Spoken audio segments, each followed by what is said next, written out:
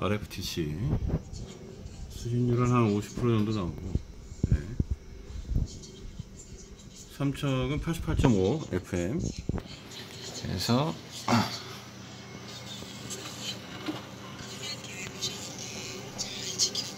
음악을 이렇게 라디오 나오는 걸 확인할 수 있습니다. 음, 뒤에 안테나는 뒤쪽에 아, 이, 이어폰은 여기 이렇게 꼽아서 이렇게 설정을 했고 소리를 들어볼 수 있고요. 안테나는 선을 조금 연장을 했습니다. 중간에 이렇게 조인을 해서 아, 여기 창밖 쪽에 이쪽으로 빼놨습니다. 조금만 더 그쪽으로. 네, 이렇게 하니까 소리가 잘 들리네요.